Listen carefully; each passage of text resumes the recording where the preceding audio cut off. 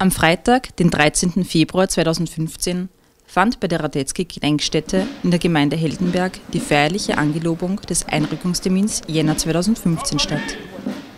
Den Treueid leisteten Soldaten des Aufklärungs- und Artilleriebataillons 4 aus Allensteig und Horn, des Aufklärungs- und Artilleriebataillons 3 aus Mistelbach, des Panzerstabsbataillons 3 aus Mautern und Weitra und der Flieger- und Fliegerabwehrschule aus Langenlebern.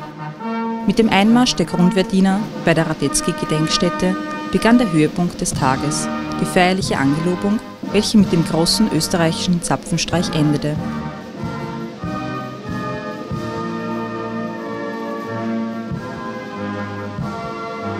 Nicht nur das Umfeld der Gedenkstätte bot für diese Veranstaltung einen äußerst würdigen Rahmen, sondern auch die Anwesenheit von zahlreichen Angehörigen und Freunden der Soldaten.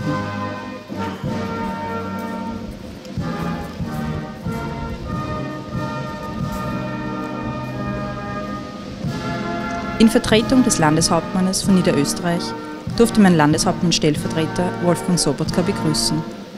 Der Bundesminister für Landesverteidigung und Sport, Gerald Klug, und der Militärkommandant von Niederösterreich, Brigadier Rudolf Striedinger, erwiesen durch ihre Anwesenheit den anzugelobenden Rekruten ihren Respekt.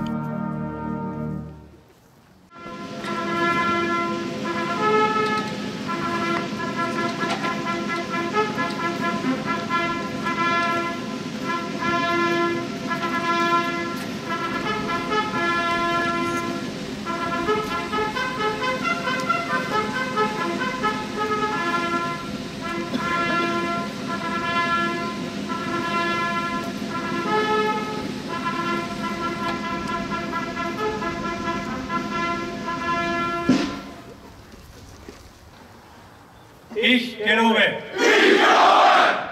Mein Vaterland. Mein Vaterland. Die Republik Österreich. Die Republik Österreich. Und sein Volk zu schützen. Und sein Volk zu schützen. Und mit der Waffe zu verteidigen. Und mit der Waffe zu verteidigen. Ich gelobe. Ich gelobe. Den Gesetzen. Den Gesetzen. Und den gesetzmäßigen Behörden. Und den gesetzmäßigen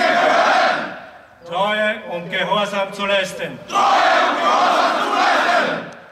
Alle Befehle meiner Vorgesetzten. Alle Befehle meiner Vorgesetzten. Pünktlich und genau zu befolgen. Pünktlich und genau zu befolgen. Und mit all meinen Kräften. Und mit all meinen Kräften. Der Republik Österreich. Der Republik Österreich. Und dem österreichischen Volke. Und dem österreichischen Volke. Zu dienen. Zu dienen.